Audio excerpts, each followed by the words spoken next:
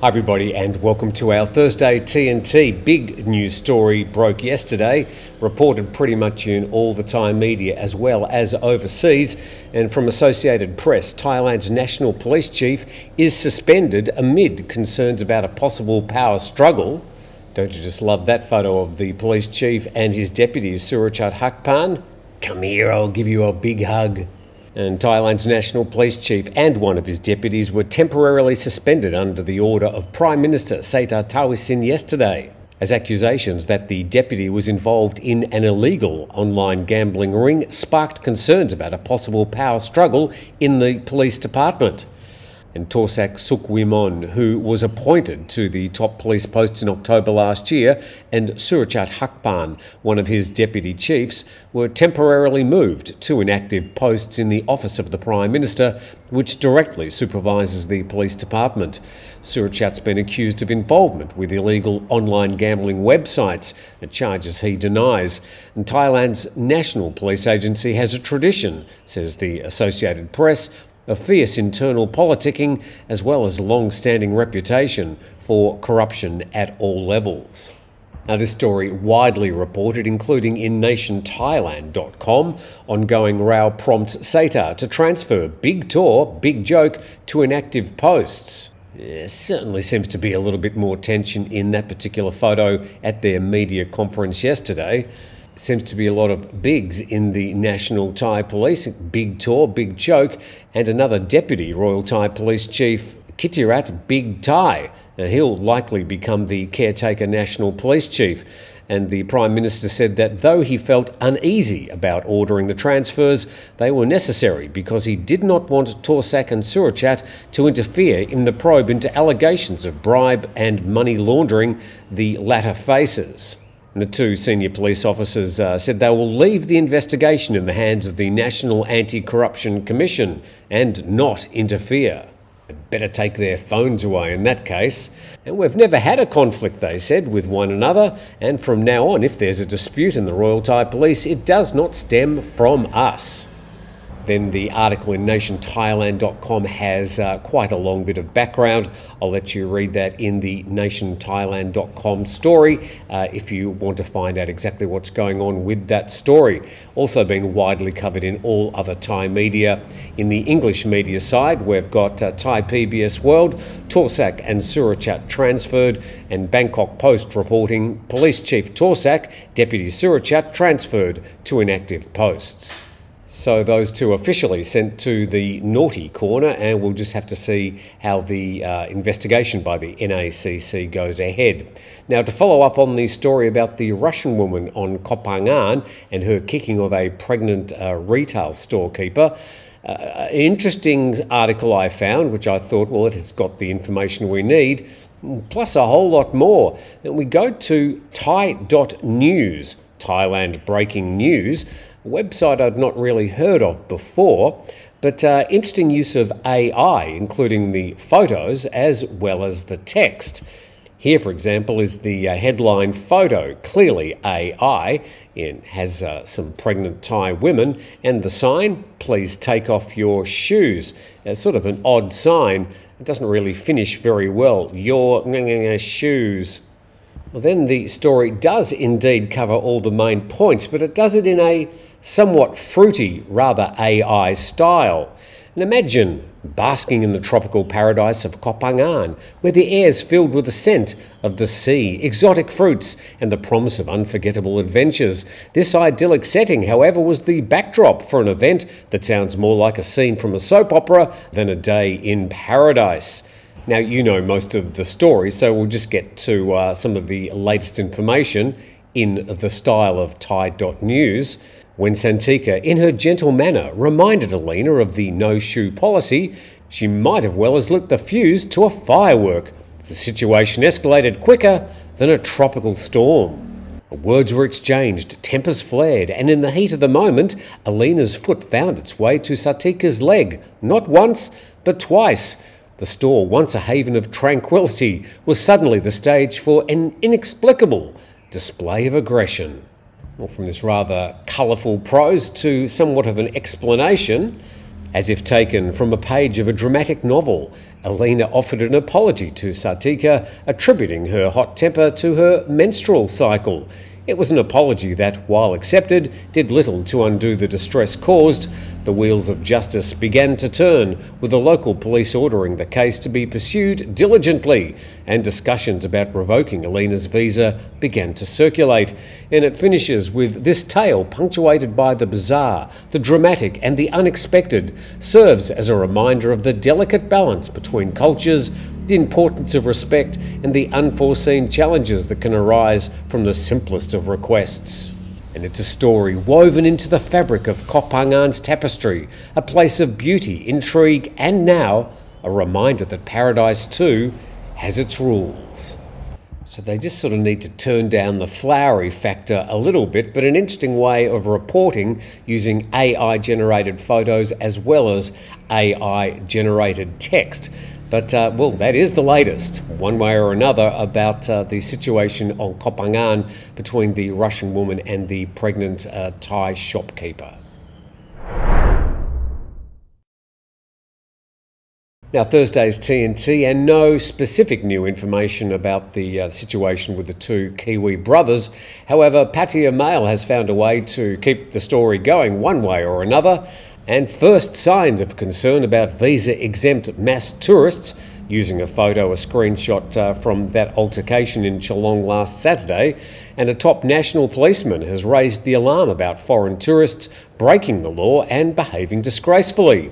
Another one of the deputy police chiefs has ordered the Immigration Bureau to toughen up law enforcement.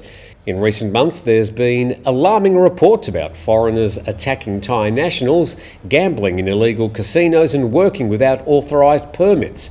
Now, it's not just recent months, these stories pop up from time to time and have done so for the past two or three decades. Equally worrying, says the story to law enforcers, is the apparently widespread practice of owning real estate or establishing business enterprises via use of Thai nominees, which is an illegal practice. The latest concerns appear to be a result of tourists from more and more countries being allowed to enter Thailand without a visa.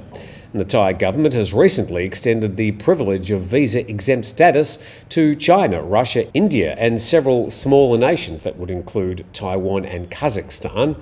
Uh, between 85 and 90% of arriving foreign tourists no longer require prior documentation. I think it's now a total of nearly 70 countries that can enter Thailand without having to pre apply for a visa. And Thai commentators on social media say there's a contradiction between Thailand wanting to expand seamless travel, come what may, to boost income on a grandiose scale, with a traditional approach to law and order. Moreover, there's now a wad of evidence, claims the article, to show that much cash based abuse by foreigners is made possible by police corruption or favouritism. Well, again, that situation really nothing new, but uh, somewhat reminded in that article in uh, pattayamail.com written by Barry Kenyon. And now to some sudden storms hitting Bangkok and nearby areas yesterday. We go to thaipbsworld.com. Widespread flooding, traffic gridlock as summer storm hits Bangkok. Well, it's not quite summer. Summer doesn't really start until the middle of the year, but uh, yes, it certainly is the hot season. And widespread flooding resulting in traffic gridlock was reported in Bangkok yesterday morning after a summer storm. Many commuters were seen wading along the flooded roads in the Din Daeng area, some with their shoes removed. But it wasn't only in Bangkok, also down in Chonburi, this reported by the PattayaNews.com. Heavy rain causes terrible flash floods in Sriracha and Chonburi. And two hours of heavy rainfall triggered devastating flash floods in several areas of Sriracha district in Chonburi province, and this happened on Tuesday. According to the Pattaya News reporters, the most significant flooding occurred at the intersection under the Nong Yai Bu Bridge in the Nongko area of Nongkam sub-district. Water levels rose to nearly one metre, totally blocking small cars and motorcycles from passing. The Pattaya News reporters observed motorcycles submerged in the floodwaters, forcing motorists to push them through the current. This resulted in significant congestion in the area. and some rust. So, time to dry out uh, some of those motorcycles and cars around uh, Bangkok and down into Chonburi and Sattahip. So, in recent times, there's been stories about possible casinos starting in Thailand. A big report's just been prepared and will be presented to the cabinet, uh, well, probably very soon. So, no surprise there's been a story like this emerge. Deputy Prime Minister Anutin leads massive gambling den raid operation in Nonthaburi, over 300 gamblers captured. I wonder which side of the argument Kun Anutin is on. At 10 pm on March the 19th, the Deputy PM Anutin Charnvirakul and relevant agencies of more than 100 individuals launched a raid operation on a massive gambling den in Bang Yai, Nonthaburi. As a result, more than 300 gamblers were captured, and locals in the area filed complaint reports that a local influential figure was illegally operating a massive gambling den. And upon the police investigation, it was found the gambling den was completely fenced and could station more than 100 vehicles inside, 300 vehicles outside. The secret agent, then disguised as a gambler, to infiltrate the facility, and it had strict security measures as more than five guards with communication devices were stationed inside the building. And the guards would thoroughly check every new visitor who needed to be invited by a regular gambler. Uh, they were trying to keep this quiet. Mm, didn't work. And the regular gamblers reportedly were rich people, as many luxury cars were spotted parking outside the facility. It was assumed by the police that the gambling den generated a large amount of money daily.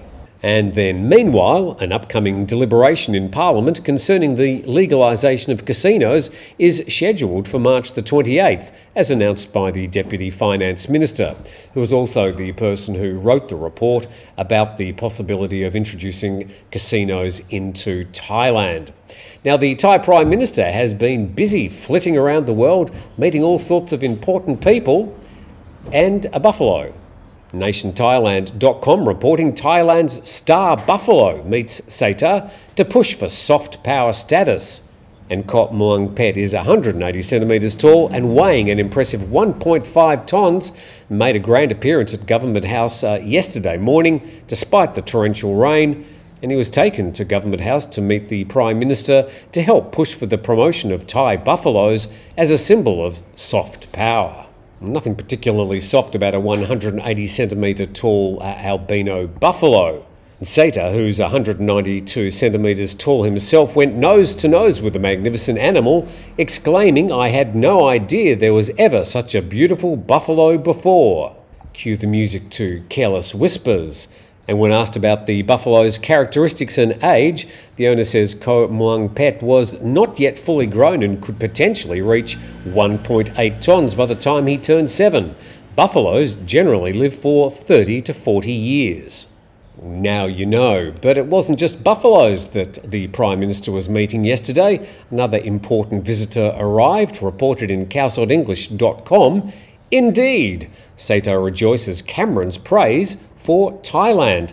And the Prime Minister posted just one word, indeed, to retweet the message of Britain's Foreign Secretary following his first official visit to Thailand on March the 20th. And Lord Cameron said uh, Thailand is one of the biggest economies in Southeast Asia. Our trading relationship is worth around 6 billion pounds a year.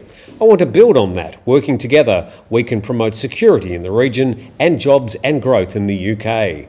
He paid a courtesy call on the Thai leader at Government House uh, yesterday. I wonder if he had to wait for the buffalo to finish. And both were pleased that Thailand and the UK formally announced the goal of upgrading their relations as strategic partners. And Lord Cameron signed the Thailand UK Strategic Partnership Roadmap, which officially elevates their bilateral relations to strategic partnership. Both sides discussed trade and economic promotion through the launch of the Thailand UK Free Trade Agreement, which will build upon the progress of the Enhanced Trade Partnership, as well as cooperation in security, science and technology, tourism, education, and visa exemptions for Thai ordinary passport holders. You shouldn't automatically read into that that uh, suddenly people from the UK are going to be getting an extended visa exemption. I'm sure that was probably discussed, but uh, that's not really on the cards. And with that, hopefully you're a bit more up to date with things happening around Thailand. A busy day for me today. Hopefully you have a good Thursday. Uh, please subscribe to the channel. We look forward to seeing you next time.